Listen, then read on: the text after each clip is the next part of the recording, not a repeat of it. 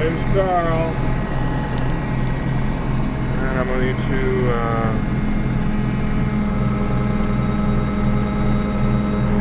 put out my auger. You can see it in the mirror there, it's coming out. The auger's coming out the side.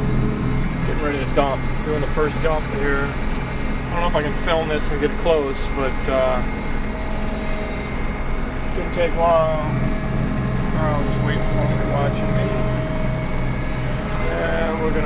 Go right over to the side of the grain cart, grain truck rather, and uh, auger it out.